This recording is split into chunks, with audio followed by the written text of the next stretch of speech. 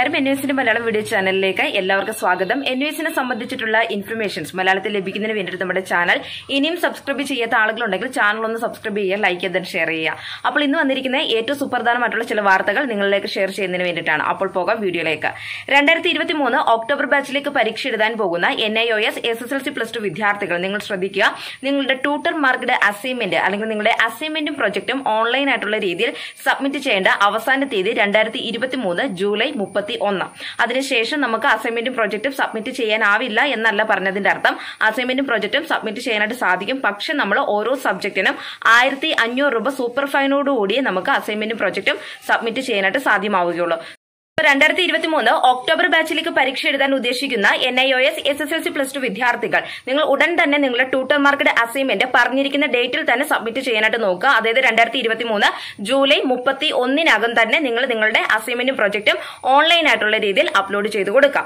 അതുപോലെ തന്നെ ഓൺലൈൻ ആയിട്ടുള്ള രീതിയിൽ സബ്മിറ്റ് ചെയ്ത ട്യൂട്ടർമാർക്കുടെ അസൈൻമെന്റ് കറക്റ്റ് ആയിട്ടാണോ അല്ലെങ്കിൽ സബ്മിഷൻ പെൻഡിംഗ് ഉണ്ടോ ഇങ്ങനെയുള്ള കാര്യങ്ങളൊക്കെ ചെക്ക് ചെയ്യുന്നത് എങ്ങനെയാണ് എന്നുള്ളതിന്റെ അടിസ്ഥാനത്തിൽ ഒരു വീഡിയോ നമ്മുടെ ചാനലിൽ തന്നെ അപ്ലോഡ് ചെയ്തിട്ടുണ്ട്. അപ്പോൾ ആ ഒരു വീഡിയോ ആരെങ്കിലും കാണാത്തവരുണ്ടെങ്കിൽ ഉടൻ തന്നെ ആ ഒരു വീഡിയോ കണ്ടിട്ട് നിങ്ങളുടെ അസൈൻമെന്റും പ്രോജക്റ്റ് നിങ്ങൾ കറക്റ്റ് ആയിട്ടാണോ അപ്ലോഡ് ചെയ്തിരിക്കുന്നത് എന്നുള്ളതും കൂടെ ചെക്ക് ചെയ്യുക കേട്ടോ. അതുപോലെ തന്നെ അടുത്തൊരു വാർത്ത എന്ന് പറയുന്നത് രണ്ടായിരത്തി ഇരുപത്തി മൂന്ന് ഒക്ടോബർ ബാച്ചിലേക്ക് സേ പരീക്ഷ എഴുതാൻ ഉദ്ദേശിക്കുന്ന N I O S S S L C plus two വിദ്യാർത്ഥികൾ. അതായത് രണ്ടായിരത്തി ഇരുപത്തി മൂന്ന് ഏപ്രിൽ ബാച്ചിലെ പരീക്ഷയിൽ ഇൻ കേസ് ഒന്നോ രണ്ടോ സബ്ജക്റ്റിനൊക്കെ ഫെയിൽ ആയിട്ടുള്ള വിദ്യാർത്ഥികൾ ഉണ്ടെങ്കിൽ അവർക്ക് സേ പരീക്ഷ എഴുതുന്നതിന് വേണ്ടിയിട്ട് രണ്ടായിരത്തി ഇരുപത്തി മൂന്ന് ഒക്ടോബർ പരീക്ഷയ്ക്ക് വേണ്ടിയിട്ട് അപ്ലൈ ചെയ്യേണ്ട സമയമാണ് ഇപ്പോൾ. അപ്പോൾ ആ ഒരു പരീക്ഷ ഫീസ് അടയ്ക്കേണ്ടത് അതായത് രണ്ടായിരത്തി ഇരുപത്തി മൂന്ന് ഒക്ടോബർ ബാച്ചിലേക്ക് സേ പരീക്ഷ എഴുതാൻ പോകുന്ന വിദ്യാർത്ഥികൾ പരീക്ഷ ഫീസ് അടയ്ക്കേണ്ട അവസാന തീയതി രണ്ടായിരത്തി ഇരുപത്തി മൂന്ന് ജൂലൈ മുപ്പതാം തീയതി. അതായത് ഇപ്പോൾ നിങ്ങൾക്കറിയാം നിങ്ങൾ സേ പരീക്ഷ എഴുതാൻ ഉദ്ദേശിക്കുന്ന വിദ്യാർത്ഥികളാണെങ്കിൽ പരീക്ഷ നോർമൽ പരീക്ഷ ഫീസിനോടൊപ്പം ആയിരത്തി അഞ്ഞൂറ് രൂപ സൂപ്പർ ഫൈനോട് കൂടിയാണ് പരീക്ഷ ഫീസ് ഇപ്പോൾ എൻ ഐ എസ് സ്വീകരിക്കുന്നത്. അപ്പോൾ നോർമൽ പരീക്ഷ ഫീസിനോടൊപ്പം ആയിരത്തി അഞ്ഞൂറ് രൂപ സൂപ്പർ ഫൈനോട് കൂടി സേ പരീക്ഷ എഴുതുന്ന N I O S S S L C plus two വിദ്യാർത്ഥികൾ പരീക്ഷ ഫീസ് അടയ്ക്കേണ്ട അവസാന തീയതി രണ്ടായിരത്തി ഇരുപത്തിമൂന്ന് ജൂലൈ മുപ്പതാം തീയതി.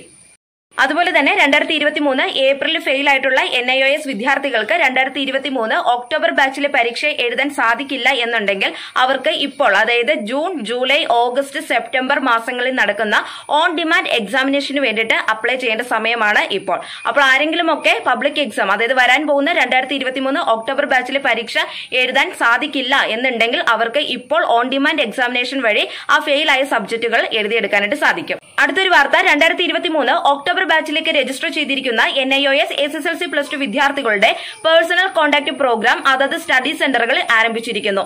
അപ്പോൾ എല്ലാ N I O S S S L C plus two വിദ്യാർത്ഥികളും അതത് സ്റ്റഡി സെന്ററുമായി കോൺടാക്ട് ചെയ്ത് നിങ്ങളുടെ പി സി പി ക്ലാസ്സുകൾ അറ്റൻഡ് ചെയ്യുക. അപ്പോൾ പി സി പി ക്ലാസ്സിന് മാർക്കും കാര്യങ്ങളൊക്കെ ഉള്ളതാണ്. അതുകൊണ്ട് തന്നെ ആരും ആ ഒരു ക്ലാസ് അറ്റൻഡ് ചെയ്യാതെ ഇരിക്കരുത്. അതുപോലെ തന്നെ രണ്ടായിരത്തി ഇരുപത്തി മൂന്ന് ഒക്ടോബർ ബാച്ചിലേക്ക് പരീക്ഷ എഴുതാൻ പോകുന്ന S S L C plus two വിദ്യാർത്ഥികളുടെ റെക്കോർഡ് ബുക്കുകൾ അതായത് പ്രാക്ടിക്കൽ സബ്ജക്റ്റുകളൊക്കെ നിങ്ങൾ രജിസ്റ്റർ ചെയ്തിട്ടുണ്ടെങ്കിൽ ആ സബ്ജക്റ്റുകളുടെയൊക്കെ റെക്കോർഡ് ബുക്കുകൾ തയ്യാറാക്കേണ്ട സമയം കൂടിയാണ് ഇപ്പോൾ. അപ്പോൾ എല്ലാവരും ഈ പറഞ്ഞിരിക്കുന്ന കാര്യങ്ങളെല്ലാം ശ്രദ്ധാപൂർവം ചെയ്യുക. ഇത്രയും കാര്യങ്ങളാണ് ഈ ഒരു രണ്ടായിരത്തി ഇരുപത്തി മൂന്ന് അക്കാദമിക് ഇയറിൽ നിങ്ങൾ ശ്രദ്ധിക്കേണ്ട കാര്യങ്ങൾ.